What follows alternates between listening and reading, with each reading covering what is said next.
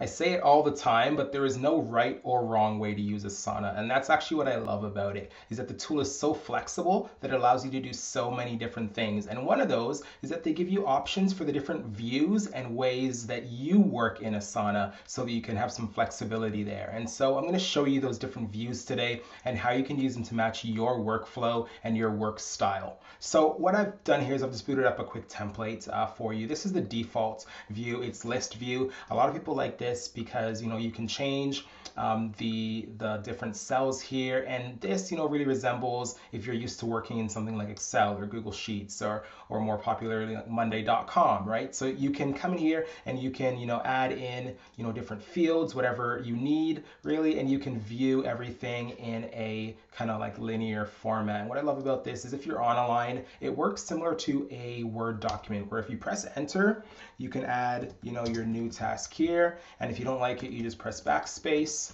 and then you can get out of it. It deletes it right away. So it, it's really linear, really easy to look at. You can kind of scroll up and down. Your subtasks are visible right there if you just, you know, kind of drop that drop down.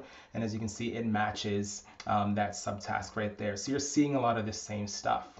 So that is our list view, one of the ones that you know I, I personally like. Um, but if you're more of like a, a, a, Kanban style worker, then the board view is definitely for you. And so what it does is it loads everything out in you know um, card style with different boards where you can easily you know, move stuff back and forth. They make it really simple. Your sections are your actual um, boards up at the top, and you can move through things really quickly. So in the last view, I showed you the subtasks. They've made it so that you can view your subtasks right here. You can add subtasks. If there are any images in this view, let me see if I can grab an image real quickly and just upload one for you so you can see what that looks like. So that image is uploading and then as soon as it does, I'm going to show you how you can view that.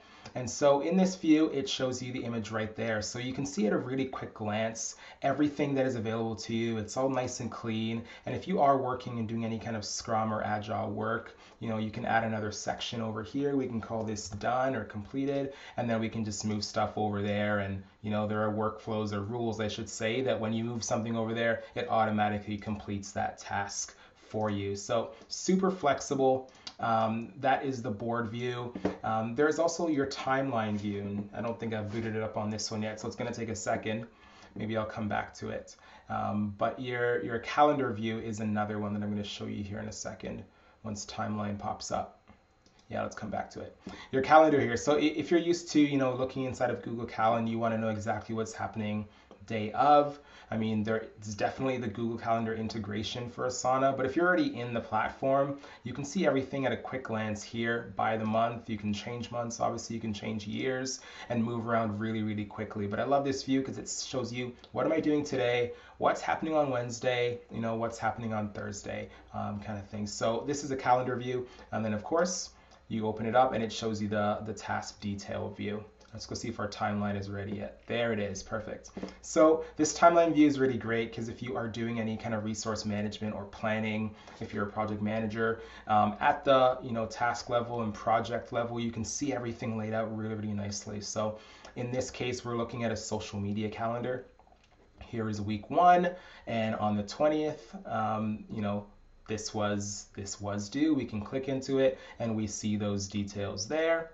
Um, you can see what's happening today, what our milestones are. They're right there. You can um, easily click and drag these if you want to, you know, change the the start and the end date of them. You can slip them around really, really quickly in time. It's super flexible.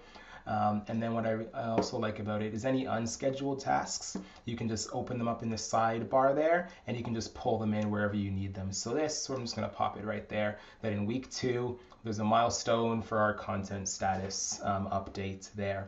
Um, and then I'm not going to get to dashboards in this video, but there's there's lots of views. These are the the top four that you know Asana has given to us. And so if you're you know wondering you know how does Asana work for me? I'm coming from Monday.com. I'm coming from Trello. You know does it have these options for me?